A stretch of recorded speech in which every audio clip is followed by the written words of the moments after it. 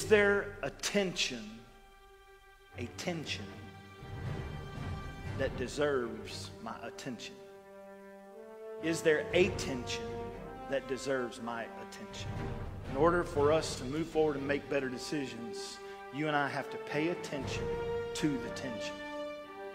Have to pay attention to the tension. And the tension comes from my conscience.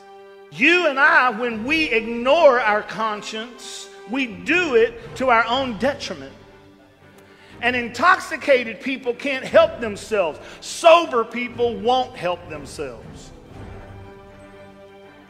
If they refuse to make good decisions, it's because they don't want to. It's not because they don't have the ability, it's because they choose not to.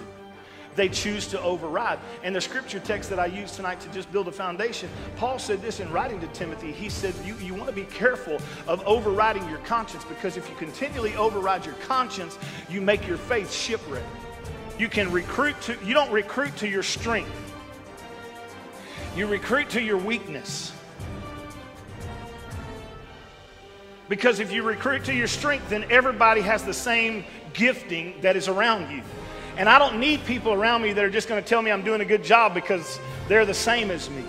So you recruit to your weakness, you recruit to the areas that you don't have it all together. You put people around you that aren't afraid sometimes to say, You're stupid or you're about to do something stupid. But we're faced with decisions that have implications. And many times the decisions that we face that have implications don't just affect us, they affect other people.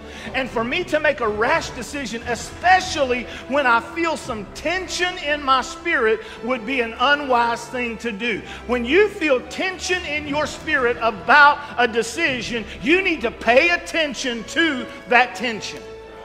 So, what happens without wisdom? What happens when you've trained your conscience unwisely? What happens when you want to do good but you haven't lived wisely? You haven't made decisions and trained your conscience to work like it ought to? Well, then your conscience is controlled by whatever controls you. So, guess what?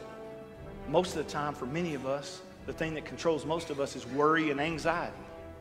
Without wisdom, your conscience clouds your life with worry. And when, you when your life, watch this, when your life gets clouded with worry, the next step is you're going to panic. Don't panic. Don't make crazy decisions. Without wisdom, you're going to worry. Panic's going to sit in. And when panic sits in, you're not able to make calm, wise decisions. You make anxiety driven decisions.